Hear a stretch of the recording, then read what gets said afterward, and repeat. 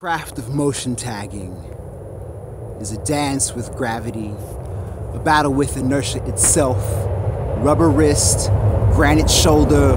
When the train hits that curve at 30 miles per hour, knees bent, lean with the rumble and sway.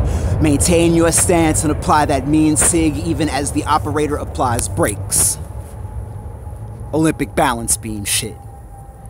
This craft is muscle memory guiding perfect penmanship even when the lights go out. Block stars go all av, trying to paint the moon. These are the fabled midnight marauders. Before the cans and the walls, this autograph session is the meet and greet just outside your bedroom window. This wide tips and stickers ritual is so that you get acquainted with the style. See, we don't want to blow your minds all at once.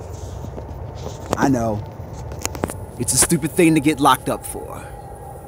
But I know that it's a stupid thing to lock a kid up for when they're trapped on the outside. Tell me, what do you know about I can't do this at home and they don't give a shit at school? This is how my homies exercised fear of being locked out of homes their families could barely afford to live in.